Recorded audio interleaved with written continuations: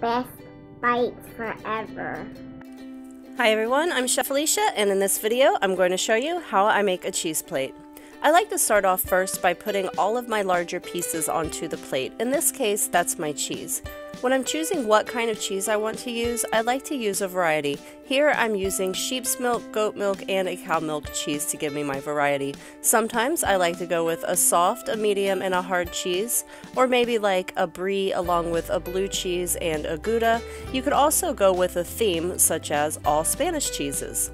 The next thing that I'm adding on is my marinated mushrooms. I'll leave this recipe down in the description. And another good option here would be a little bit of olives. Then my crackers go down along with a little bit of meat. Here I'm adding a little bit of prosciutto to the tray.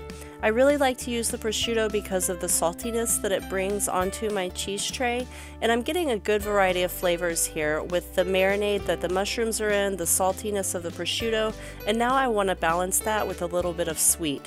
So here I'm adding some dried fruit. In this case these are dried apricots. I remember the first time that I had to make a cheese tray in a restaurant, and the chef came over to me and he was like, Alicia, what's missing?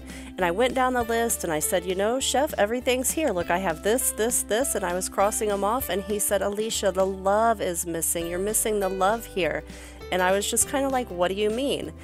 And he showed me how much better a cheese tray looks when you fill it up by adding the dried fruit and mixed nuts and these types of thing.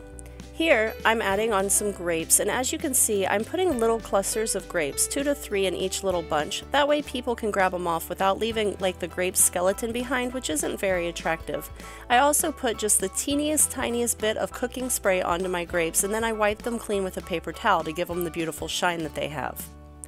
The next thing that I'm going to add on here are some mixed nuts.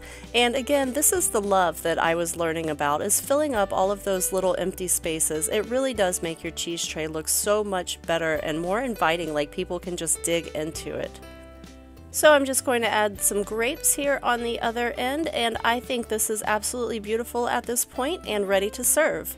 What's your favorite cheese to put onto a cheese tray? Leave it in the comments and I'll see you in the next video. Hi again, thank you so much for watching my video. Please give it a like and a thumbs up and share it with all of your friends because sharing is caring. And if you're not already a subscriber, be sure to go ahead and subscribe now. Thank you so much for watching and happy cooking everyone. BestBitesForever.com